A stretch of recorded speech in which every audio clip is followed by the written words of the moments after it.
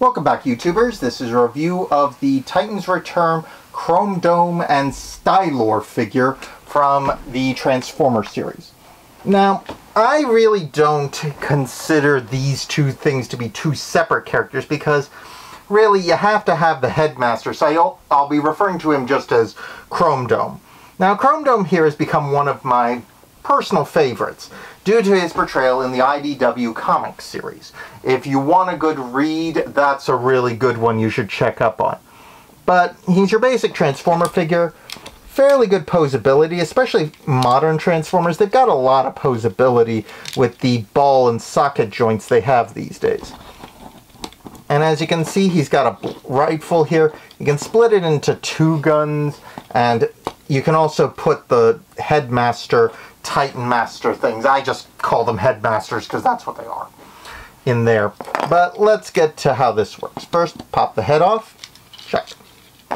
Then you open up his feet like so. Pop in his feet like this, fold them in, and then close the backs up so it locks them together. Then, sorry, this, you push out the roof here, like so. Push in the hands.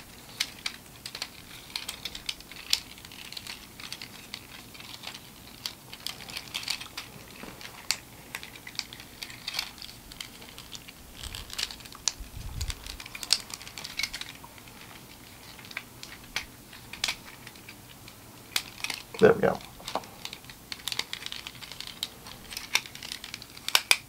And then you flip up his chest plate here inside.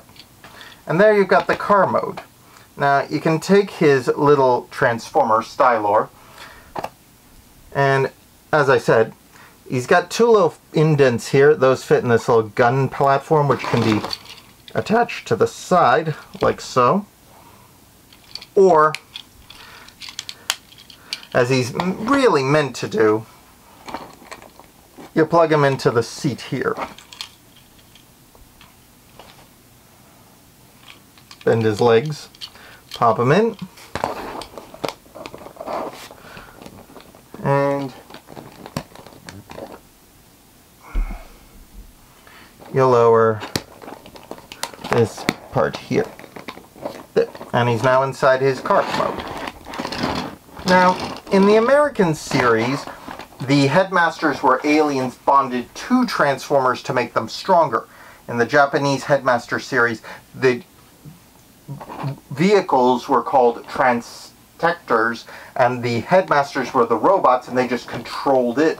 They transformed from a small robot into the head for the bigger robot. An interesting change in dynamic. Now, now Chrome Dome here he was the lead headmaster for a fair chunk of the Japanese headmaster series. Though Cerebros was really the commander, Chrome Dome here was kind of like the second in command or main adjutant. Either way, he was basically the one most of us focused on.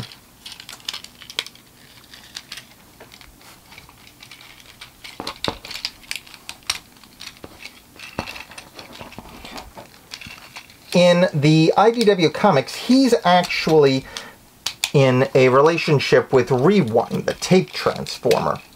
He transforms into a database device of some type, probably just like a giant memory stick. I think that's what it was. It's been a while since I read all those issues.